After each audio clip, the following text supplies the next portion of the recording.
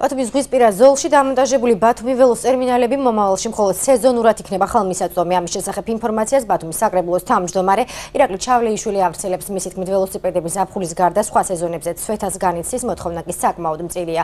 წლიურად ხელისუფლებას მისი შენახვა 700.000 ლარი უჯდება. ეს თანხა კი საკრებულოს შეუძლია კაცლები ნაყოფიერად გამოიყენოს. ირაკლი ჩავლეიშვილის აზრით უმჯობესია ბათუმ ველოს ტერმინალებმა მხოლოდ ზაფხულობით იმუშაონ, ცუდი ამინდების დადგომისანავე კი მათ საწყობებში გადაიტანენ. ბათუმის ავტოტრანსპორტის უფროსი აცხადებს, რომ ველოსიპედების სპეციალური მასალით არის დამზადებული, რომელიც უამინდობის გამო არ იცვითება და ბათუმი ველოს სეზონური გადატანა გაუმართლებელია.